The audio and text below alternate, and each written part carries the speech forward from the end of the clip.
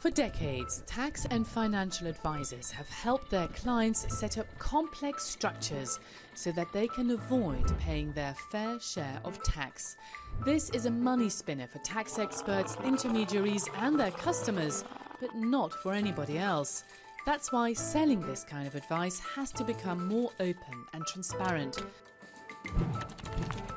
In future, anyone selling harmful tax avoidance strategies will have to come clean and notify the tax authorities.